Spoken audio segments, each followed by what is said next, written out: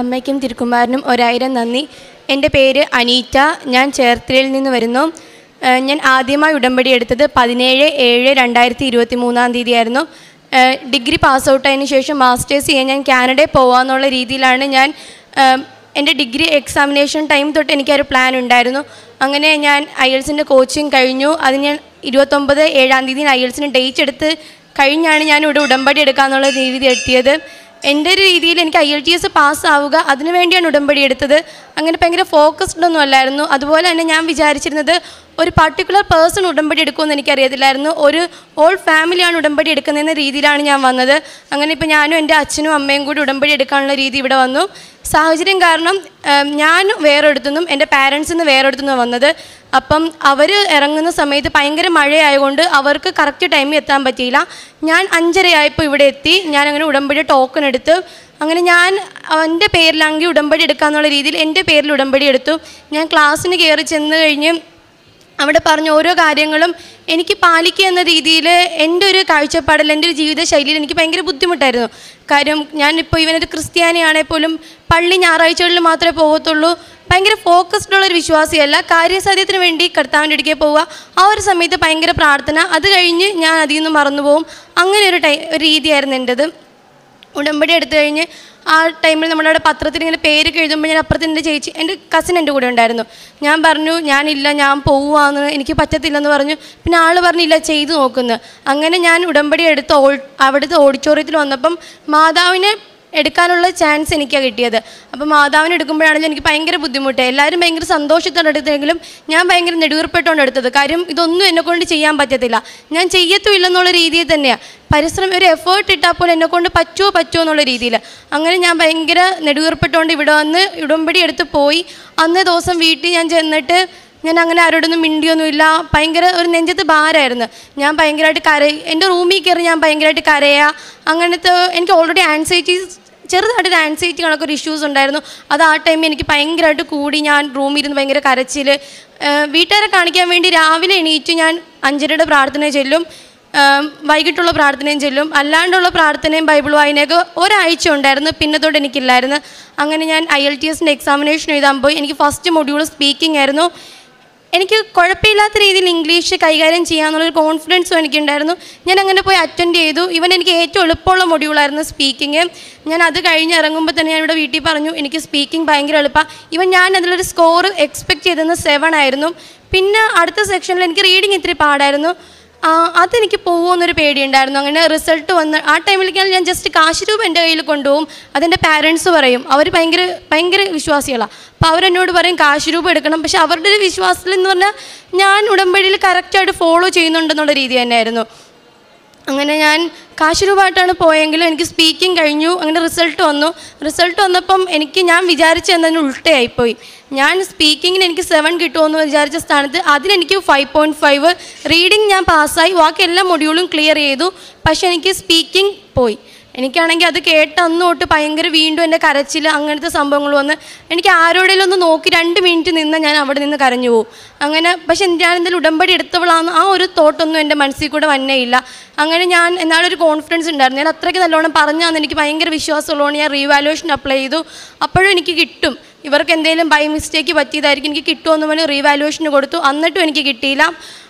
അത് കഴിഞ്ഞ് ഏജൻസിനെ സമീപിച്ചപ്പോൾ അവരെന്നോട് പറഞ്ഞ് നിങ്ങൾ വീണ്ടും എക്സാമിനേഷൻ എഴുതണം.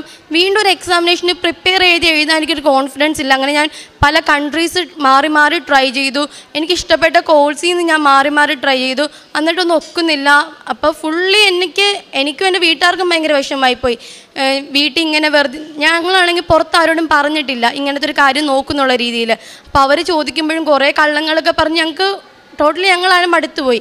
അപ്പം എന്റെ വീട്ടിൽ നിന്ന് എപ്പോഴും എന്റെ അപ്പം പറയുമായിരുന്നു നീ ഒന്ന് കൃപാസനത്തിൽ ചെല്ല് ചെല്ല്. ഞാൻ പറഞ്ഞില്ല. ഞാൻ ഓൾറെഡി ഒന്ന് വന്നാണല്ലോ. ഇനി മൂന്ന് മാസം കഴിഞ്ഞ് ചെന്നാൽ മതി. എന്നോട് ഇവൻ പുതുക്കാൻ പറഞ്ഞപ്പോഴും ഞാൻ പറഞ്ഞ് ഇല്ല മൂന്ന് മാസത്തേക്കുള്ളത് എന്റെ ഉള്ളൂ. ഇനി അത് കഴിഞ്ഞാൽ നിങ്ങൾ പോയി പുതുക്കിക്കോ എന്ന് പറഞ്ഞ് പറഞ്ഞിരുന്നു ഞാനാ.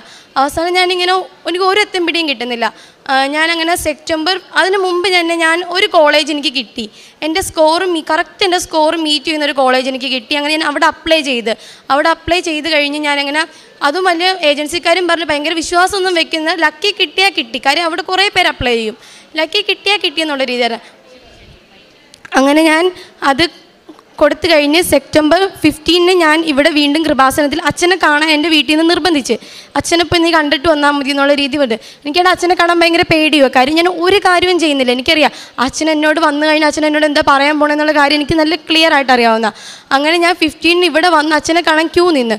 ക്യൂ നിന്ന സമയത്ത് എനിക്ക് ഫോണിലോട്ട് ഇമെയിൽ വന്നു. എനിക്ക് അവിടുന്ന് ഓഫർ ലെറ്റർ കിട്ടിയെന്നുള്ള രീതിയിൽ ആ സ്പോട്ടിൽ ഞാൻ എങ്ങനെയാണ് ജീവിച്ച അതിൽ നിന്ന് ഞാൻ മാറി. എനിക്ക് ഇല്ല ഒരു വിശ്വാസം വന്നു. എങ്ങനെ ഉടമ്പടിയിൽ ജീവിക്കണമെന്ന് അന്ന് എനിക്ക് മനസ്സിലായി. അന്ന് തൊട്ട് ഞാൻ എന്റെ ഉടമ്പടിയിൽ വിശ്വസ്തയോടെ പാലിക്കാൻ തുടങ്ങി. ഇവൻ കാരുണ്യ പ്രവർത്തികളൊന്നും ഞാൻ ഒന്നും ചെയ്യത്തില്ല. ഞാൻ പത്രം പോലും കൊടുക്കത്തില്ല. പത്രം വാങ്ങിച്ചുകൊണ്ട് വരും വീട്ടിൽ കൊടുക്കും പാരൻസ് അവിടെ ഇവിടെയും അല്ലെങ്കിൽ അവർ ഭയങ്കര വിശ്വാസത്തോടെ കൊടുക്കും ഞാൻ ഒന്നും ചെയ്യത്തില്ല ഞാൻ വാങ്ങിച്ചു കൊണ്ടുവരുന്നൊരു കടമ മാത്രമേ എനിക്കുള്ളായിരുന്നു. പക്ഷേ അന്ന് തൊട്ട് ഞാൻ കാരുണ്യ പ്രവർത്തികളിലും അതുപോലെ തന്നെ ഉടമ്പടിയിലും വിശ്വസ്തയോടെ പാലിക്കാൻ തുടങ്ങി. അങ്ങനെ ഓഫർ ലെറ്റർ കിട്ടി. എനിക്ക് സെക്കൻഡ് കടമ എന്ന് പറയുന്നത് ലോണാണ് ലോണിന് അപ്ലൈ ചെയ്യുമ്പോഴും ലോണിന് അപ്ലൈ ചെയ്യാൻ നേരം ഞങ്ങൾക്ക് പ്രൊസീജിയറൊക്കെ ഭയങ്കര സ്മൂത്തായിരുന്നു ഈവൻ എന്റെ വീട്ടിൽ എനിക്ക് എല്ലാ ഡോക്യുമെൻസും കിട്ടി. നമുക്ക് ലോണിന് വേണ്ട എല്ലാ ഡോക്യുമെൻസും അങ്ങനെയുള്ള എല്ലാം എനിക്ക് കിട്ടി. അങ്ങനെ വാല്യൂർ ലാൻഡ് പ്രോപ്പർട്ടിക്കും ലാൻഡിനും കൂടെ വാല്യൂ ചെയ്യാൻ വന്നു. അങ്ങനെ ആൾ വന്ന് വാല്യൂ ചെയ്ത് തന്നപ്പം ആൾ എനിക്ക് ഇരുപത് ലക്ഷം വാല്യൂ ഇട്ടുള്ളൂ പ്രോപ്പർട്ടിക്ക് ഇരുപത് ലക്ഷം ഇട്ട് കഴിഞ്ഞാൽ നമുക്ക് അതിന്റെ ഹാഫ് പത്ത് ലക്ഷം കിട്ടത്തുള്ളൂ. പത്ത് ലക്ഷം കൊണ്ട് ഞങ്ങൾക്ക് ഒന്നും ആവത്തില്ല. ഞങ്ങൾക്ക് മാക്സിമം പതിനഞ്ച് ലക്ഷം രൂപയിൽ ഈവൻ കിട്ടിയാലേ ഞങ്ങൾക്ക് പറ്റത്തുള്ളായിരുന്നു. അപ്പോൾ പത്ത് ലക്ഷം കിട്ടിയപ്പോൾ ഞങ്ങൾക്ക് ഒന്നും ചെയ്യാൻ പറ്റത്തില്ല. അപ്പോൾ ഞങ്ങൾ മാനേജറിനോടൊക്കെ ചോദിച്ചാൽ പുള്ളിക്കാരൻ പറഞ്ഞു വാല്യൂർ നിങ്ങൾക്ക് ഓൾറെഡി ഡോക്യുമെന്റിൽ എഴുതി നിങ്ങളുടെ ലാൻഡിനും പ്രോപ്പർട്ടിയും ട്വന്റി ലാക്കാണ് നിങ്ങൾക്ക് അതിൽ കൂടുതൽ നിങ്ങൾക്ക് അനുവദിക്കാൻ പറ്റത്തില്ല. ഞാനപ്പോൾ കൃപാസന അമ്മേന്റെ ഉപ്പ് ഞാനും അമ്മയും കൂടെ ബാങ്കിൽ പോയാൽ കൃപാസന അമ്മേന്റെ ഉപ്പ് ഞാനെടുത്ത് മാനേജറിന്റെ ടേബിളിന്റെ താഴെ ആരും കാണാത്ത ആരും ചവിട്ടാത്ത രീതിയിൽ ഞാൻ അവിടെ ഇട്ടിട്ട് പ്രാർത്ഥിച്ചു. പിന്നെ അവിടെ നിന്നാണേലും ബാങ്കിൽ കുറേ നേരം ഞാൻ അവിടെ ക്യൂ നിൽക്കേണ്ടി വരും. ആ ക്യൂ നിൽക്കുന്ന ടൈമിലാണെങ്കിൽ ഇവൻ എന്റെ ഫോണിലുള്ള ബൈബിൾ വായിക്കുക. അല്ലെ ബൈബിൾ ഞാൻ അവിടെ ഉണ്ടായിരുന്ന എന്റെ ഫോണിലുള്ള സാക്ഷ്യം കേൾക്കുക. അങ്ങനെ ഓരോ സാക്ഷ്യം കേൾക്കുമ്പോൾ എനിക്ക് ചുറ്റും ഫുള്ള് നെഗറ്റീവാണ് ഈ രണ്ട് മാസം എന്റെ ഫുള്ള് നെഗറ്റീവാണ് ഓരോ കാര്യം എനിക്ക് സഹനത്തിലൂടെ കിട്ടുക. പക്ഷെ ഞാൻ ബൈബിൾ എടുക്കുമ്പോൾ എനിക്ക് കിട്ടുന്ന ഫുള്ള് പോസിറ്റീവ് വചനങ്ങൾ. എനിക്ക് ആ ഒരു നെഗറ്റീവ് എനിക്ക് മാറി കിട്ടും. കാര്യം എന്ന് പറഞ്ഞാൽ എനിക്ക് ആ വചനത്തിലൂടെ കിട്ടണതെല്ലാം പിക്ക് ചെയ്യണതെല്ലാം എനിക്ക് പോസിറ്റീവ് വചനങ്ങളായിരുന്നു. അങ്ങനെ എനിക്ക് ഒക്ടോബർ ഫിഫ്റ്റീൻ ഞാൻ ഉടമ്പടി വന്ന് പുതുക്കി കറക്റ്റ് ടൈമിൽ തന്നെ ഒന്ന് പുതുക്കി. അത് കഴിഞ്ഞ് രണ്ട് ദിവസം കഴിഞ്ഞ് എനിക്ക് മാനേജർ വിളിച്ചു പറഞ്ഞു നിങ്ങൾക്ക് ഫിഫ്റ്റീൻ ലാക്ക് അപ്രൂവ് ചെയ്തു. അപ്പം അടുത്ത രീതിയിൽ പറഞ്ഞെന്ന് പറഞ്ഞ പുള്ളിക്കാരൻ പക്ഷേ നിങ്ങൾക്ക് സെവന്റി ഫൈവ് പെർസെന്റേജ് റെഡീം ചെയ്യാൻ പറ്റത്തുള്ളൂ. ട്വന്റി ഫൈവ് പെർസെന്റേജ് ഞങ്ങളുടെ അക്കൗണ്ടിൽ തന്നെ കിടക്കും. അപ്പോൾ എനിക്ക് പതിനഞ്ച് ലക്ഷം കിട്ടിയെന്ന് പറഞ്ഞാലും എനിക്ക് ഉപകാരം ഇല്ലാണ്ടായിപ്പോയി അപ്പോഴാണെങ്കിലും ഈ സമയത്തൊന്നും ഞാൻ പിന്നെ കരച്ചിൽ അങ്ങനെ തളർന്നൊന്നുമില്ല. എനിക്കൊരു കോൺഫിഡൻസ് ആയി. ഇത്ര എത്തിച്ച അമ്മ എന്നെ ഇനിയും കൊണ്ടുപോകുന്നൊരു കോൺഫിഡൻസ് ആയി. അങ്ങനെ ഞാൻ മാതാവിന്റെ അടുത്ത് ഞാൻ ചെന്ന് പറഞ്ഞു അമ്മ എനിക്ക് എമൗണ്ട് ഞാൻ പറഞ്ഞ പോലെ തന്നെ എനിക്ക് കയ്യിലോട്ട് തന്നു. പക്ഷെ അതിന് യൂസ് ആക്കാൻ പറ്റാത്ത രീതിയിൽ തന്നെ ഞാൻ എന്ത് ചെയ്യുമെന്ന്? അങ്ങനെ അത് ആ ഒരു ടൈം അങ്ങനെ പ്രാർത്ഥിച്ചുകൊണ്ട് ഞാൻ ഇരുന്നു. അതിന് മുമ്പ് തന്നെ ഞാൻ ഓൾറെഡി ലോൺ സാങ്ഷൻ ആവുന്നതിന് മുമ്പ് തന്നെ ഒക്ടോബർ തേർഡിന് ഞാൻ എന്റെ ഫസ്റ്റ് സെം ഫീസ് അടയ്ക്കാനുള്ള പറഞ്ഞായിരുന്നു. ഒക്ടോബർ തേർട്ടീനാണ് എനിക്ക് ഡെഡ് ലൈൻ തന്നിരുന്നത്. ഒക്ടോബർ തേർഡിന് ഞാൻ എമൗണ്ട് അടച്ചു. അപ്പം ഞാൻ ഇത്തിരി ക്ലോസ് ആയിരുന്നു. ഞാൻ ഒരു pay my pay my tuition എന്ന് പറഞ്ഞ പോർട്ടൽ വഴി അടയ്ക്കുമ്പോൾ ഒരു രണ്ടാഴ്ച പിടിക്കും. അതുകൊണ്ട് ഏജൻസിക്കാർ എന്നോട് എപ്പോഴും പറഞ്ഞതെന്ന് പറഞ്ഞാൽ ഫോർ എക്സ് ഞാനിപ്പോൾ അടയ്ക്കണതിന് ഒരു മുപ്പതിനായിരം രൂപ എക്സ്ട്രാ വരും. അപ്പോൾ എനിക്കത് പേ ചെയ്യാൻ എനിക്കൊട്ട് മനസ്സിനൊട്ട് താല്പര്യവും ഇല്ല ബുദ്ധിമുട്ടിക്കാൻ എനിക്ക് കഴിയത്തില്ലായിരുന്നു വീട്ടുകാരെ കൊണ്ട്.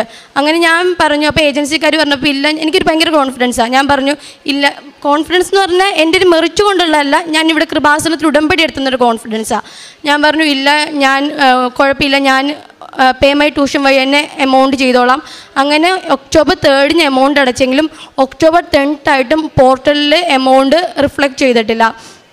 അപ്പം ഞാൻ മാതാവിനോട് എപ്പോഴും ഒക്ടോബർ ടെൻത്ത് എന്ന് പറഞ്ഞ ഡേറ്റ് ഇട്ട് പ്രാർത്ഥിക്കുമായിരുന്നു അന്നത്തെ ദിവസം ഒരു ചൊവ്വാഴ്ച ഓൺ ഓൺലൈൻ ഉടമ്പടി ധ്യാനം ഉണ്ടായിരുന്നു. അപ്പം ഞാൻ ഇങ്ങനെ മാതാവിനോട് പറഞ്ഞായിരുന്നു ആ ഉടമ്പടി ധ്യാനത്തിന് ഞാൻ ഫുൾ കോസ്റ്റ്യൂം മാറി ഞാൻ ബാങ്കിലോട്ട് പോയി ലോണും അപ്രൂവ് ചെയ്യുന്ന രീതിയിൽ എനിക്ക് അന്ന് ലോണും കിട്ടും. എന്റെ ഓഫർ ലെറ്റർ എന്റെ ഫസ്റ്റ് ടൈം ഫീസ് അടച്ച് എന്റെ കോളേജിൽ നിന്ന് റെസീപ്റ്റും കിട്ടും. ഞാൻ ഫുൾ എന്റെ ഡ്രസ്സൊക്കെ ചേഞ്ച് ചെയ്തായിരിക്കും ഉടമ്പടി ധ്യാനത്തിന് കൂടെ എന്നും പറഞ്ഞിരുന്നത്. അപ്പോൾ അന്ന് രാവിലെ പള്ളിയിലൊക്കെ പോയി രാവിലെ എണീക്കണോണ്ട് എനിക്ക് ക്ഷീണം വന്ന് ഞാൻ ഉറങ്ങി. ഒരു ഒമ്പതരയൊക്കെ ആയപ്പോൾ ഞാൻ ഉറങ്ങി. ഉറങ്ങിക്കഴിഞ്ഞ് ഞാൻ ഇങ്ങനെ ഒരു പതിനൊന്ന് മണിയൊക്കെ ആയപ്പം ബുക്ക് കിട്ടത്തില്ല. ആ ബുക്ക് കറക്റ്റ് ആ ബുക്കിന്റെ ഫ്രണ്ട് പേജിൽ മാതാവിന്റെ ഫോട്ടോ എനിക്ക് ആദ്യം വന്ന് സെക്കൻഡ് എനിക്ക് വന്നത് വേളാങ്കണ്ണി മാതാവിന്റെ ഫോട്ടോയോ ഈ രണ്ട് ഫോട്ടോ ഒരു പതിനൊന്ന് പത്തായപ്പോഴെനിക്ക് വന്ന എന്നിട്ട് ഞാൻ തിരിഞ്ഞു കിടന്നുറങ്ങി. ഞാൻ അതെനിക്ക് കോൺഷ്യസ് ആണ് ഞാൻ വീണ്ടും കിടന്നുറങ്ങി. അതുകൊണ്ട് ഒരു പതിനൊന്ന് ഇരുപത്തി എട്ട് ഇരുപത്തി ഏഴ് ആ ഒരു ടൈമായപ്പം എന്റെ ഉള്ളിൽ നിന്നൊരു മെസ്സേജ് ഇങ്ങനെ നീ അല്ലേ പറഞ്ഞ നീ ഡ്രസ്സൊക്കെ ചേഞ്ച് ചെയ്ത് നീ ഉടമ്പടി ധ്യാനം കൂടും നീ എന്താ ചെയ്യാത്തതെന്ന്? സ്പോട്ടിൽ ഞാൻ ഫോൺ എടുക്കുമ്പോൾ ടൈം കണ്ട് ഞാൻ നേരെ കോസ്റ്റ്യൂം ഡ്രസ്സൊക്കെ ചേഞ്ച് ചെയ്ത് ഞാൻ വന്ന് ഉടമ്പടി ധ്യാനം കൂടി. അപ്പോൾ എനിക്കൊരു കോൺഫിഡൻസ് മാതാവ് എനിക്ക് പ്രത്യക്ഷപ്പെട്ടു. അപ്പോൾ എനിക്ക് ഇന്ന് തന്നെ എന്റെ എല്ലാം ശരിയായി കിട്ടുമെന്നായിരുന്നു. പക്ഷേ ഒക്ടോബർ പത്താം തീയതി എനിക്ക് പോർട്ടലിൽ നിന്ന് മെസ്സേജ് വന്നത് നിങ്ങളുടെ ഓഫർ നിങ്ങളുടെ എമൗണ്ട് ഞങ്ങൾക്ക് കിട്ടിയിട്ടില്ല. അതുകൊണ്ട് നിങ്ങളുടെ ഓഫർ ലെറ്റർ റിവോക്ഡ് ആയിപ്പോയി വേ നിങ്ങൾ എമൗണ്ടിന് റീഫണ്ട് ചെയ്തോളാം രീതിയിലാണ് വന്നത്. അപ്പം ഞാനാണെങ്കിൽ ആകെ പേടിച്ചു പോയി. മാതാവ് ഇനി ഞാൻ എന്ത് ചെയ്യും? അടച്ച എമൗണ്ടിന്റെ സ്വപ്നം എല്ലാം തീർന്നെന്ന് ഞാൻ വിചാരിച്ച്. ഞാൻ കോളേജിലോട്ടൊക്കെ മെയിൽ അയച്ച് മെയിൽ അയച്ചുകൊണ്ടിരുന്നു ഇവൻ ആ ഒന്ന് പത്താം തീയതി എനിക്ക് അങ്ങനെ ഒരു മെസ്സേജ് വന്ന സ്ഥാനത്ത് പതിനൊന്നാം തീയതി എനിക്ക് പോർട്ടലിലോട്ട് എമൗണ്ട് പോവുകയും ചെയ്തു. അന്ന് തന്നെ എനിക്ക് കോളേജിൽ നിന്ന് റെസിപ്റ്റ് കിട്ടുകയും ചെയ്തു. എല്ലാം എനിക്ക് ഒരു വൺ ഡേയുടെ അകത്ത് തന്നെ എനിക്ക് അതങ്ങനെ സാധിച്ചു കിട്ടി. അത് കഴിഞ്ഞ് ബാക്കി ലോൺ എമൗണ്ടും സാങ്ഷനാക്കി സെക്കൻഡ് എമൗണ്ടും ജി ഐ സി എമൗണ്ടും ഞാൻ ലോൺ എമൗണ്ട് വഴി പാസ്സാക്കി അപ്പം എന്നോട് ഇവർ പറഞ്ഞതെന്ന് പറഞ്ഞാൽ എഴുപത്തഞ്ച് ശതമാനം റെഡീം ചെയ്തോളുന്ന രീതിയിലാണ് അങ്ങനെ ഫസ്റ്റ് എമൗണ്ടിന്റെ ഫസ്റ്റ് എമൗണ്ട് സ്വന്തമായിട്ട് പേ ചെയ്തുകൊണ്ട് അത് നമുക്ക് ലോൺ എമൗണ്ടിൽ നിന്ന് റെഡീം ചെയ്യാം. റെഡീം ചെയ്യാൻ വേണ്ടി ഞാൻ ബാങ്കിലോട്ട് ചെന്നപ്പം ഞാൻ അവരോട് പറഞ്ഞ എമൗണ്ട് അല്ല അവർ കേട്ടത്. എനിക്ക് ഞാൻ അഞ്ച് ലക്ഷത്തി തൊണ്ണൂറ്റാറായിരം ഫസ്റ്റ് എമൗണ്ട് ഞാൻ പേ ചെയ്തു. അപ്പോൾ എനിക്ക് അതിന്റെ എഴുപത്തഞ്ച് ശതമാനം എന്ന് പറയുമ്പം നാല് ലക്ഷത്തി അറുപത്തായിരം രൂപ എനിക്ക് റെഡീം ചെയ്ത് കിട്ടത്തുള്ളൂ. ഞാൻ അവരോട് പറഞ്ഞ എമൗണ്ട് അവർ ബൈ മിസ്റ്റേക്ക് കേട്ടത് തെറ്റിപ്പോയി. അവരെനിക്ക് ഏകദേശം അഞ്ച് ലക്ഷത്തി മുപ്പത്തയ്യായിരം രൂപ അന്ന് റെഡീം ചെയ്തു. അപ്പോൾ എനിക്ക് മനസ്സിൽ ഇത് കള്ളത്തരത്തിലൂടെയാണ് കിട്ടിയത്. പക്ഷെ എന്നാലും ഞാൻ പറയാൻ പോയില്ല. കാരണം എനിക്ക് അത്രയ്ക്ക് പൈസ അത്യാവശ്യമാണ് അപ്പോൾ ഞാൻ പിന്നെ മാതാവിനോട് പറഞ്ഞു ഇവൻ എനിക്കിത് ഇങ്ങനെ ഒരു സംഭവം നടന്നു. എനിക്കിതൊരു അടയാളമായിട്ട് കാണിച്ചു തരാൻ പറഞ്ഞു. പിറ്റേ ദിവസം ഞാൻ ബാങ്കിൽ ചെന്നപ്പോൾ ബാങ്കുകാർ അത് പിടിച്ചു. അവർ പറഞ്ഞു "ആ, നിങ്ങൾക്ക് ഞങ്ങൾ അറിയാണ്ട് എമൗണ്ട് കൂടുതൽ ഇട്ടുപോയി അപ്പോൾ അവർ പിന്നെ പറഞ്ഞതെന്ന് പറഞ്ഞാൽ അതിന് കുഴപ്പമില്ല സർവീസ് ചാർജ് ഉണ്ട്. അത് ഞങ്ങൾ എടുത്തു കഴിഞ്ഞ് ബാക്കി എമൗണ്ട് നിങ്ങളുടെ അക്കൗണ്ടിൽ തന്നെ കിടന്നോട്ടെ എന്നുള്ള രീതിയിലാണ് അങ്ങനെ എനിക്ക് എഴുപത്തഞ്ച് ശതമാനം റെഡീം ചെയ്യുമെന്ന് അവർ പറഞ്ഞ സ്ഥാനത്ത് എന്റെ ഫ്ലൈറ്റ് ടിക്കറ്റ് എല്ലാ ടിക്കറ്റിനും ഞാൻ എമൗണ്ട് ലോൺ എമൗണ്ട് വഴി തന്നെ എടുത്ത് എന്റെ ലോൺ അക്കൗണ്ട് സീറോ ആയി. എനിക്ക് ഈവൻ എനിക്ക് ഏകദേശം ഫിഫ്റ്റീൻ ലാക്ക് എറൗണ്ട് തന്നെ എനിക്ക് ലോൺ അക്കൗണ്ടിൽ നിന്ന് റെഡീം ചെയ്ത് ലോൺ അക്കൗണ്ടിൽ നിന്ന് എമൗണ്ട് കിട്ടി. അങ്ങനെ എല്ലാ ഫീസും അടച്ച് ഞാൻ വിസയ്ക്ക് സബ്മിറ്റ് ചെയ്തു. വിസയ്ക്ക് ഞാൻ സബ്മിറ്റ് ചെയ്യണമെന്ന് പറഞ്ഞാൽ ഒക്ടോബർ ഇരുപത്തെട്ടാം തീയതിയാണ് ഒക്ടോബർ ഇരുപത്തെട്ടാം തീയതി ഞങ്ങൾക്ക് എനിക്ക് വിസയ്ക്ക് ഡേറ്റ് കിട്ടുന്നില്ലായിരുന്നു. ബയോമെട്രിക്സിനൊക്കെ ആണെങ്കിൽ ഭയങ്കര ലാഗ് ഒന്നും പറ്റുന്നില്ലായിരുന്നു. അങ്ങനെ ജപമാല റാലിക്ക് പോകണമെന്ന് ഞങ്ങൾ വീട്ടിൽ അത് പണ്ടോട്ടേ പ്രാർത്ഥിച്ച് പ്രാർത്ഥിച്ചിരുന്നു ഉടമ്പടി എടുത്തതിന് ശേഷം. അങ്ങനെ ഞങ്ങൾ മൂന്നുപേരും കൂടെ ജപമാല റാലിക്ക് പോയി ഫുള്ള് കൂടി ഞാൻ എന്റെ അമ്മേന്റെ വീട്ടിലോട്ടാണ് പോയാ. അവിടെ എത്തിയപ്പം അവർ പറഞ്ഞു നിങ്ങൾക്ക് ഓക്കെ നിങ്ങൾക്ക് വിസ സബ്മിഷനുള്ള ഓക്കെ ആയിട്ടുണ്ട് വിസ സബ്മിറ്റ് ചെയ്തോളാം. അങ്ങനെ ഒക്ടോബർ ഇരുപത്തെട്ടിന് മാതാവിന്റെ റാലിയും കഴിഞ്ഞാണ് ഞാൻ വന്ന് വിസ സബ്മിറ്റ് ചെയ്തത്. എന്നിട്ട് ഏജൻസിക്കാർ നോർമലി എല്ലാവരോടും പറയണത് കാനഡയിലോട്ടേക്കാം കാനഡയിലോട്ടൊക്കെ ഒരു ഇരുപത് ടു മുപ്പത് ദിവസം കിട്ടും. അത് വലിയ ആൾക്കാർക്കൊന്നും കിട്ടത്തില്ല. എന്നാലും ഓൾമോസ്റ്റ് എല്ലാവർക്കും ഒരു മാസം കഴിഞ്ഞേ വിസ അപ്രൂവൽ വരത്തുള്ളൂ. പക്ഷേ എന്റെ കാര്യത്തിൽ വന്നപ്പം എനിക്ക് പതിനെട്ട് ദിവസം കഴിഞ്ഞപ്പം എനിക്ക് വിസ അപ്രൂവൽ ചെയ്യുന്നു. ഏറ്റവും വലിയ ഇതെന്ന് പറഞ്ഞാൽ ഞാൻ ഫൈവ് പോയിന്റ് ഫൈവ് സ്കോർ വെച്ചുകൊണ്ട് തന്നെ. ഞാൻ പിന്നെ I L T S examination എഴുതിയിട്ടേ ഇല്ല overall six point five one module five point five score വെച്ചുകൊണ്ടാണ് ഞാൻ ഇത്രയും പ്രൊസീജിയേഴ്സ് കംപ്ലീറ്റ് ചെയ്തത്. ഇവൻ അപ്പം എന്റെ കസിൻസൊക്കെ കാനഡയിലുണ്ട്. അപ്പം അവർ പറഞ്ഞത് അവർക്ക് സെവൻ ഉണ്ടായിട്ട് പോലും ഫസ്റ്റ് ടൈം റിജക്ഷൻ ആണ് വന്നത്. അതുകൊണ്ട് നീ റീ എഴുത് റീ എഴുതുന്നുള്ള രീതിയിലാണ് ഞാൻ പറഞ്ഞില്ല ഞാൻ ഉടമ്പടി എടുത്തിട്ടുണ്ട്. ഞാനതിൽ കോൺഫിഡന്റ് ആയി എനിക്ക് പറ്റും. ഉള്ള രീതിയിലായിരുന്നു. അങ്ങനെ ഇവർ അവസാനം എനിക്കെല്ലാം കിട്ടിക്കഴിഞ്ഞ് ഇവർ എന്നെ ചോദിച്ചു നിനക്ക് ഇതെങ്ങനെ സാധിച്ച്? ഇതെങ്ങനെയാണെന്നും പറഞ്ഞ് വേറെ ആൾക്കാരൊക്കെ എന്നോട് റെഫറൻസിന് ചോദിച്ചു നീ ഇത് ഏത് ഏജൻസി വഴിയാണ് ചെയ്ത? ഞാൻ പറഞ്ഞു എനിക്കിത് ഏജൻസിയുടെ ഏജൻസി എല്ലാവർക്കും നോർമലി അപ്രോച്ച് ചെയ്യാൻ പറ്റും. എനിക്ക് കൃപാസന ഉടമ്പടി കൊണ്ട് മാത്രമാണ് എനിക്കിത് ചെയ്യാൻ പറ്റിയെന്നുള്ള രീതിയിൽ എനിക്ക് അവരോട് പറയാനും പറ്റി.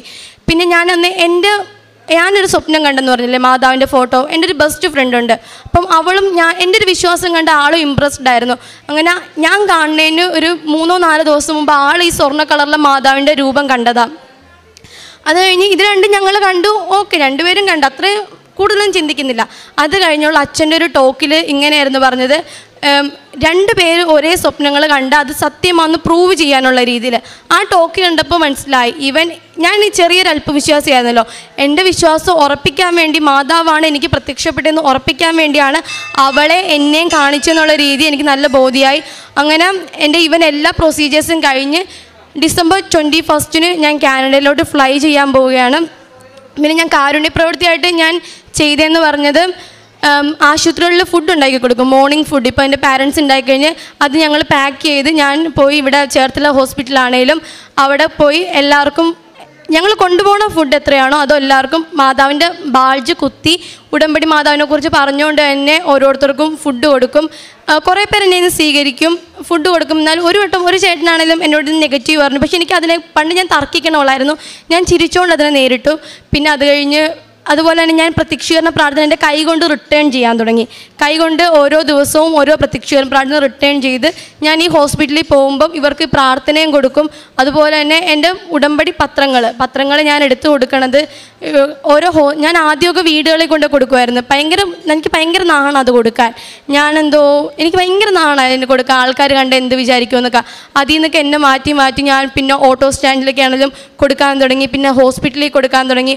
ഓരോ വീടുകളിലൊക്കെ ആണെങ്കിലും അവസാനമൊക്കെ ആയപ്പോൾ എനിക്ക് തന്നെ സാക്ഷ്യം പറയാൻ ഓരോ സംഭവങ്ങളും കഴിയും തോറും എനിക്ക് സാക്ഷ്യം പറയാനുള്ള കണ്ടന്റുകൾ കിട്ടി തുടങ്ങി. എനിക്ക് അന്ന് ലഭിച്ച എന്താണോ സാക്ഷ്യം അത് വെച്ച് ഞാൻ പറഞ്ഞ് എനിക്ക് പത്രങ്ങൾ കൊടുക്കാൻ പറ്റി. പിന്നെ അതുപോലെ തന്നെ ഞാൻ ഓരോ ദിവസവും ഓരോ നിയോഗങ്ങൾ വയ്ക്കും കാര്യം എന്ന് പറഞ്ഞാൽ ഇപ്പം എന്തെങ്കിലുമൊക്കെ ആവശ്യങ്ങളായിട്ട് വരും എന്റെ ചുറ്റും. അത് ഞാൻ ഓരോ നിയോഗങ്ങളായിട്ട് വെക്കുകയും ആ ഓരോ നിയോഗങ്ങളിൽ പലതും എനിക്ക് ഒട്ടുമിക്കതും എനിക്ക് സാധിച്ചു കിട്ടിയിട്ടുണ്ട്. കിട്ടാനുള്ളത് ചിലതുണ്ട്. അത് എന്റെ അല്ല മറ്റുള്ളവരുടേതാണ്. പക്ഷെ അത് ഞങ്ങൾക്ക് ഇനി സമയമുണ്ട് അത് സാധിച്ചു കിട്ടാനെന്നുള്ള രീതി. അങ്ങനെ മറ്റുള്ളവർക്ക് വേണ്ടി പ്രാർത്ഥിക്കാൻ. അതുപോലെ തന്നെ എനിക്ക് മെയിൻലി കിട്ടിയ ഒരു വരവെന്ന് പറഞ്ഞാൽ മരിച്ചവർക്ക് വേണ്ടി പ്രാർത്ഥിക്കാൻ. ഞാൻ അങ്ങനെ അവർക്ക് വേണ്ടി പ്രാർത്ഥിക്കുക അങ്ങനെയൊന്നുമില്ല. എനിക്ക് അതിന് ഇമ്പോർട്ടൻസ് ഒന്നും വലിയ കാര്യമായിട്ട് അറിയത്തില്ലായിരുന്നു. അങ്ങനെ ഞാൻ ഇപ്പോൾ മരിച്ചവർക്ക് വേണ്ടി പ്രാർത്ഥിക്കാനും സിമിത്തേരി പോവാനും അവർക്ക് വേണ്ടി ഒപ്പീസുകൾക്കുള്ള സമയത്ത് കൂടാനും അങ്ങനെ എന്റെ അനിയത്തിമാർക്കൊക്കെ ഒരു ഇൻസ്പിറേഷൻ കൊടുക്കാൻ പറ്റി. ഞാനെന്ന് പറഞ്ഞാൽ അവരുടെ മുമ്പിൽ ഞാൻ ഭയങ്കര ഒരു ഭയങ്കര ഒരു നോർമൽ ചേച്ചി. എന്ന് പറഞ്ഞാൽ ഞങ്ങൾ ഭയങ്കര ഒരു നോർമൽ ലൈഫ് ആയിരുന്നു എന്ന് പറഞ്ഞാൽ ആ ഒരു ഇതിൽ നിന്ന് എനിക്ക് മാറാൻ പറ്റി. ആത്മീയതയിൽ ഫോക്കസ്ഡ് ചെയ്യാൻ പറ്റി. ഇപ്പം എന്റെ കസിൻസ് അല്ല എന്റെ സിസ്റ്റേഴ്സൊക്കെ ആണെങ്കിലും അവർക്കൊക്കെ ഞാൻ എന്റെ ഫോണിൽ നിന്ന് ഇതുവരെയായിട്ട് ഞാൻ ഒരു സാക്ഷ്യം പോലും ആർക്കും ഷെയർ ചെയ്ത് കൊടുക്കത്തില്ലായിരുന്നു. എന്റെ ഫോണിൽ നിന്നൊരു ദൈവത്തിന്റെ ഫോട്ടോ പോലും ഞാൻ ആർക്കും കൊടുക്കത്തില്ല. അതൊന്നും എനിക്ക് ഭയങ്കര ഒരു കുറച്ചിലെന്നുള്ളൊരു ഫീലായിരുന്നു എന്റെ ആത്മീയത എന്റെ ഉള്ളിൽ നിന്നാൽ മതി. അത് ആരും കാണണ്ട. ആ ഒരു മെന്റാലിറ്റി ആയിരുന്നു എനിക്ക്. പിന്നെ പിന്നെ ഞാൻ ഓരോ സാക്ഷ്യം കേട്ടിട്ട് ഞാൻ ഇരുന്ന് എണ്ണും. ഈ ഇവർക്ക് കൊടുത്തില്ലല്ലോ ഇവർക്ക് കൊടുത്തില്ലല്ലോ എന്നും പറഞ്ഞിങ്ങനെ ഓരോരുത്തർക്കും ഞാനത് കൊടുത്ത് കൊടുത്ത് ശീലിക്കാൻ പറ്റി. പിന്നെ ഞാൻ പൊതുവേ ഒരു എക്സ്ട്രോവേർട്ട് ഒരു ഇൻട്രോവേർട്ടാണ് എനിക്കറിയാത്ത ആൾക്കാരോട് മിണ്ടാൻ ഭയങ്കര ബുദ്ധിമുട്ടാണ് അവരെ ചിരിക്കാൻ ഭയങ്കര ബുദ്ധിമുട്ടാണ് എപ്പോഴും ഒരു അഹങ്കാരം ഒരു പുച്ഛഭാവമാണ് എന്റെ മുഖത്ത് എപ്പോഴും നിന്നുകൊണ്ടിരുന്ന അതിൽ നിന്നൊക്കെ ഞാൻ മാറ്റി ആൾക്കാരെ കണ്ട് ചിരിക്കാൻ എന്നുള്ള രീതിയിൽ ഞാൻ അങ്ങനെ പഠിച്ചു. എന്റെ ജീവിതത്തിൽ ഞാനിങ്ങനെ ഉടമ്പടിയിൽ കയറിയതിന് ശേഷം ഓരോന്നായിട്ട് മാറ്റാൻ തുടങ്ങി. പിന്നെ ഉടമ്പടിയിൽ വേറൊരു പ്രത്യേകത എനിക്ക് തോന്നിയെന്ന് പറഞ്ഞാൽ ഈവൻ ഞാൻ ഇടയ്ക്ക് എന്തെങ്കിലും ധ്യാനത്തിനൊക്കെ പോകുമായിരുന്നു ഈ ഒരു കോവിഡ് ടൈമിന് മുമ്പ് ധ്യാനത്തിന് പോകും അല്ല ഇവിടെ അതിന് രണ്ടു വട്ടം മുമ്പും കോവിഡിന് മുമ്പ് ഞാൻ കൃപാസനത്തിൽ വന്നു. ഒരാഴ്ച അല്ലെ മൂന്ന് ദിവസത്തോളം ഞാൻ ഭയങ്കര ഭക്തി കാണിക്കും പിന്നെ അതിൽ നിന്ന് ഞാൻ മാറിപ്പോവും. അങ്ങനെ ഒരാളായിരുന്നു. പക്ഷെ ഉടമ്പടി ചേഞ്ച് ഉടമ്പടി എടുത്തതിന് ശേഷം എന്റെ ഡെയിലി റുട്ടീനായിട്ട് മാറി.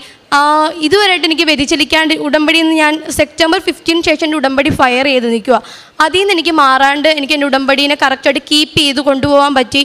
അതുപോലെ തന്നെ വേറൊരു കാര്യം എന്ന് പറഞ്ഞാൽ കാനഡയിലോട്ടേക്ക് അക്കോമഡേഷൻ ഭയങ്കര പാടാം. മൂന്നും ഒരു മാസത്തോളം രണ്ട് മാസത്തോളം സെർച്ച് ചെയ്തിട്ട് ആൾക്കാർക്ക് അക്കോമഡേഷൻ കിട്ടാൻ ഭയങ്കര പാടാണ് ആ സ്ഥാനത്ത് ഞാൻ എനിക്ക് വിസ കിട്ടി. മൂന്നാം പക്കം എനിക്ക് അക്കോമഡേഷൻ റെഡിയായി അതും ഈ ഒരു ടൈമിൽ അല്ല ഈ ഒരു സിനാരിയോയിൽ ഒരു ചീപ്പ് റേറ്റിൽ തന്നെ എനിക്ക് അക്കോമഡേഷൻ റെഡിയായി അതുപോലെ തന്നെ എനിക്ക് ഇവിടുന്ന് ഓരോ കാര്യങ്ങളിലും മാതാവിനെ സഹകരിച്ച് എനിക്ക് പോവാൻ നല്ല മനുഷ്യരെ എനിക്ക് അറിയാവുന്ന എന്റെ ഉടമ്പടിയിൽ അറിയാവുന്ന എന്റെ മാതാവിനെ അറിയാവുന്നവരെ തന്നെ എനിക്ക് ഇവിടുന്ന് കൂട്ട് കിട്ടി. അങ്ങനെ ഓരോ കാര്യങ്ങളിലും മാതാവിനെ സഹായിച്ചു. ഞാൻ പിന്നെ കാരുണ്യ പ്രവൃത്തി എന്ന് പറഞ്ഞാൽ ഞങ്ങളുടെ ഇവിടെ വൃദ്ധസദനം അങ്ങനത്തത് കുറവാണ് അങ്ങനെ അനാഥാലയ സന്ദർശനം അങ്ങനെ കുറവാണ് അപ്പം ഞാൻ സാക്ഷ്യം കേൾക്കുമ്പോൾ എനിക്കറിയാം ഓരോരുത്തരും എങ്ങനെയാണ് ചെയ്തത്. അത് ഫോളോ ചെയ്യാൻ ഞാൻ നല്ലോണം ശ്രമിക്കും. അപ്പം എനിക്ക് ആ ഒരു ഓപ്ഷൻ കുറവാണ് അപ്പം ഞാൻ എന്റെ എന്റെ വീടും എന്റെ കുടുംബ വീടും അപ്പുറം ഇപ്പുറം അപ്പം ഞാൻ എന്റെ വീട്ടിൽ പണ്ടോട്ട് ഉണ്ടെങ്കിലും ഞാൻ പുറത്തിറങ്ങത്തില്ല. രാവിലെ തൊട്ട് വൈകുന്നേരം വരെ ഞാൻ ഫോണിൽ കുത്തി കളിച്ചിരിക്കും. പിന്നെ ഞാൻ അങ്ങനെ പുറത്തോട്ട് ഇറങ്ങത്തില്ല. അവിടെ എന്റെ അമ്മമ്മ ഒറ്റയ്ക്കാണെങ്കിൽ പോലും അമ്മൂമ്മയുടെ ഭയങ്കര കാര്യ സ്നേഹ വർത്താനമൊക്കെ പറയുമെങ്കിലും ഞാൻ അവിടെ അങ്ങോട്ട് പോയി ഇരിക്കുകയല്ലേ അമ്മൂമ്മയുടെ വർത്താനം പറയും. എന്റെ വീട്ടിൽ നിന്നാണെങ്കിലും പറയും നീ അവിടെ വെറുതെ ഇരിക്കുമല്ലേ അവിടെ? അന്നമാമ ഒറ്റയ്ക്കല്ലേ? അങ്ങോട്ട് പോകുന്നുള്ള രീതിയിൽ. ഞാൻ പിന്നെ പിന്നെ ഞാൻ എനിക്കൊരു ദിവസം എനിക്ക് തന്നെ തോന്നി ഞാൻ എന്റെ അമ്മൂമ്മ അവിടെ ഇരിപ്പുണ്ടല്ലോ. ഞാൻ പുറത്തോട്ടപ്പോൾ കാരുണ്യ പ്രവൃത്തി ചെയ്യാൻ ഭയങ്കരമായിട്ട് ഓടി നടക്കുക പുറത്ത് ആരുണ്ട് എനിക്ക് സഹായിക്കാനുണ്ടുള്ള രീതി ഓടി നടക്കുക അപ്പോൾ എനിക്ക് തന്നെ തോന്നി എന്റെ അകത്ത് എന്റെ അമ്മൂമ്മ ഇരിപ്പുണ്ടല്ലോ. അപ്പോൾ ഞാൻ അനന്നമാമന്റെ അടുക്കെ പോയി രണ്ട് വർത്താനം സംസാരിക്കുക അല്ലെങ്കിൽ സുഖമാണോ ഭക്ഷണം കൊടുക്കുക അങ്ങനത്തെ ഒരു കാര്യവും ചെയ്തിട്ടില്ലായിരുന്നു. പിന്നെ ഞാൻ അതിൽ ഫോക്കസ്ഡ് ചെയ്ത് ആളുടെ ഞാൻ ആദ്യമായിട്ട് അന്നമാമന്റെ അടുക്കെ ചെല്ലുമ്പോൾ എന്നോട് ചോദിച്ചു എന്ത് പറ്റി നിനക്ക് ഇങ്ങോട്ട് വരാനെന്നുള്ള രീതിയിൽ അത്രയ്ക്ക് ഞാൻ അങ്ങോട്ട് പോ അങ്ങനെ പോക്കുക കുറവായിരുന്നു. ആ സ്ഥാനത്ത് ഞാനിപ്പോൾ എന്റെ അമ്മൂമ്മയുടെ അടുക്കലൊക്കെ കാണാൻ പോവുക അങ്ങനെ പ്രായമായുള്ളൊരു ബഹുമാനിക്കാനുള്ളൊരു ശീലം എനിക്ക് കിട്ടി. നിങ്ങൾ പശ്ചാത്തപിക്കുവിൻ. നാളെ നിങ്ങളുടെ ഇടയിൽ കർത്താവ് അത്ഭുതം പ്രവർത്തിക്കും. ജോഷുവയുടെ പുസ്തകം മൂന്നാം അധ്യായം അഞ്ചാം തിരുവചനമാണ്.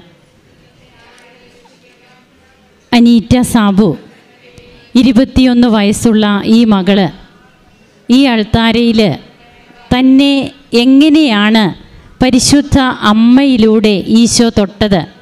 താൻ താൻ എന്തായിരുന്നു? എങ്ങനെയുള്ള ഒരു വ്യക്തിയായിരുന്നു? ഇന്ന് താൻ ഇവിടെ വന്നതെന്ന് ഈ സാക്ഷ്യം പറയുമ്പോൾ ഈശോയുടെ പ്രിയപ്പെട്ട ഒരു കുഞ്ഞായിട്ട് തന്നെ എങ്ങനെ മാറ്റി? ഉടമ്പടി എന്താണ്? ഇതൊക്കെ വളരെ കൃത്യമായിട്ട് നാം കേട്ടു കഴിഞ്ഞു. അങ്ങനെ തിരുവചനം പറയുകയാണ് നിങ്ങൾ പശ്ചാത്തപിക്കുവിൻ. നാളെ നിങ്ങളുടെ ഇടയിൽ കർത്താവ് അത്ഭുതം പ്രവർത്തിക്കും. മറ്റുള്ളവർക്ക് വേണ്ടിയിട്ടെന്ന് പറഞ്ഞതുപോലെ തന്റെ പേരൻസിന് വേണ്ടിയിട്ടെന്ന് പറഞ്ഞതുപോലെ ഉടമ്പടി എടുത്ത് ആ, ഉടമ്പടി ഒരാഴ്ച ഒന്ന് അവരെയൊക്കെ കാണിക്കാൻ വേണ്ടിയിട്ടൊന്ന് ചെയ്തു. പിന്നീട് അങ്ങനെയുള്ള കാര്യങ്ങളിലൊന്നും ശ്രദ്ധയില്ലാതായി. തനിക്ക് ഇതല്ലെങ്കിലും തനിക്ക് മെറിറ്റുണ്ട് അങ്ങനെ ആ മെറിറ്റിൽ ഐ എൽ ടി എസ് ഒക്കെ കിട്ടും. ആ ഒരു കോൺഫിഡൻസും ഓവർ കോൺഫിഡൻസും ഒക്കെ ആയിട്ട് ഈ മകൾ മുമ്പോട്ട് പോകുമ്പോൾ തനിക്ക് ഏറ്റവും എളുപ്പമായിരുന്ന മോഡ്യൂൾസ് പോലും അത് പൊട്ടിപ്പോവുക ബാക്കിയുള്ളതൊക്കെ ലഭിക്കുക അങ്ങനെയൊക്കെ വരുമ്പോഴാണ് പിന്നീട് ഈ മകൾ അതൊന്ന് റീതിങ്ക് ചെയ്യുന്നു റീവാലുവേഷന് കൊടുക്കുന്നു. അവിടെയൊന്നും ഒരു പോസിറ്റീവ് റിസൾട്ടും കിട്ടുന്നില്ല. വീണ്ടും ഉടമ്പടി പുതുക്കുക എന്നുള്ളത് ഈ മകളെ സംബന്ധിച്ച് അത് ഒരു വല്ലാത്ത ബുദ്ധിമുട്ട് തന്നെയായിരുന്നു. ബഹുമാനപ്പെട്ട ജോസഫ് അച്ഛനെ കാണാൻ വരുന്ന ദിവസം തന്നെ എങ്ങനെയാണ് ഈ മണ്ണിലേക്ക് വന്നപ്പോഴേ അമ്മ ഈ മകളെ പിന്നീട് തന്റെ സ്വന്തമാക്കുവാൻ വേണ്ടി ഈ മകളിൽ പ്രവർത്തിക്ക പ്രവർത്തിച്ചത്? അങ്ങനെ തനിക്ക് വിശ്വാസമായി പിന്നീട് അങ്ങോട്ട് ഉള്ള ജീവിതം അതാണ് ഈ മകളെ പിന്നീട് കാനഡയിലേക്ക് പോകുന്നതിന് യോഗ്യയാക്കി തീർത്തത്. ആ ഒരു അവസ്ഥ തനിക്ക് എങ്ങനെ മാറാൻ സാധിച്ചു? താനൊരു ക്രിസ്ത്യാനി താൻ പ്രാർത്ഥിക്കും അത് കാര്യസാധ്യത്തിന് വേണ്ടിയിട്ട്. അതിലപ്പുറമൊന്നുമില്ല. ഇതിനു മുമ്പും ധ്യാനങ്ങളൊക്കെ കൂടും. അത് ഒരാഴ്ച കഷ്ടിച്ച് അങ്ങനെയൊക്കെ പോകും. എന്നാൽ ഇന്ന് ബോധ്യങ്ങൾ കിട്ടിക്കഴിഞ്ഞു. ഇനി പുറകോട്ടില്ല എന്നുള്ള രീതിയിൽ എന്റെ അനുജത്തിമാർക്ക് ഇന്ന് ഞാനൊരു നല്ല ചേച്ചിയാണ്. അല്ലെങ്കിൽ ഞാൻ എന്റേതായ രീതികൾ എന്റെ സ്വാർത്ഥത എന്റെ ഇഷ്ടങ്ങൾ അത് മാത്രമായിരുന്നു. എന്നാൽ ഇന്ന് എനിക്ക് എല്ലാവരുടെയും മുൻപിൽ ഈശോയെക്കുറിച്ചും അമ്മയെക്കുറിച്ചും പറഞ്ഞ് എനിക്ക് തന്നെ മാറാൻ സാധിച്ചു എന്നൊക്കെയാണ് ഈ മകൾ ഇവിടെ നമ്മളോട് പങ്കുവെച്ചത്. അനുസരിക്കാൻ സന്നദ്ധരെങ്കിൽ നിങ്ങൾ ഐശ്വര്യം ആസ്വദിക്കുമെന്നാണ് യേശിയ പ്രവാചകന്റെ പുസ്തകം ഒന്നാം അധ്യായം പത്തൊൻപതാം തിരുവചനവും പറയുക. തന്റെ ജീവിതത്തിൽ ദൈവത്തെ കുടിയിരുത്തിക്കൊണ്ട് ഈ മകൾ കാനഡയ്ക്ക് പോകുമ്പോൾ ഇനി ഒരിക്കലും ആ കയ്യിൽ നിന്ന് പിടിപിടിവിക്കില്ല. ആ ഒരു ഉറച്ച തീരുമാനത്തോടെ ഇവിടെ വന്ന് തന്റേതായ ജീവിതത്തെ തന്റെ ജീവിതത്തെ അമ്മയുടെ മുൻപിൽ എണ്ണി പറയുമ്പോൾ നാളെ അമ്മ പ്രത്യക്ഷപ്പെട്ടതിന്റെ പത്തൊൻപതാമത്തെ ദിവസം പത്തൊമ്പതാമത്തെ വർഷം നാം അനുസ്മരിക്കുകയാണ്. അപ്പോൾ തീർച്ചയായും നമുക്കിവിടെ ഈ ഒരു സാക്ഷ്യമൊക്കെ പറയാൻ പറ്റുന്നത് അമ്മയുടെ തലോടലും അമ്മയുടെ കരുതലും ഈശോയുടെ സംരക്ഷണവും സംരക്ഷണവുമൊക്കെ നമുക്കുള്ളത് കൊണ്ട് മാത്രമാണെന്ന് നമുക്ക് തീർച്ചയായും നമുക്കത് വിശ്വസിക്കാം നമുക്കതൊരു അനുഭവമാക്കി എടുക്കാം. ഈ മകൾക്കും കുടുംബത്തിനും ലഭിച്ച എല്ലാ കൃപകൾക്കും കരങ്ങളടിച്ച് ഈശോയ്ക്കും അമ്മയ്ക്കും നമുക്ക് നന്ദി പറയാം. യേശുവെ നന്ദി. യേശുവെ സ്തുതി. യേശുവെ ആരാധന.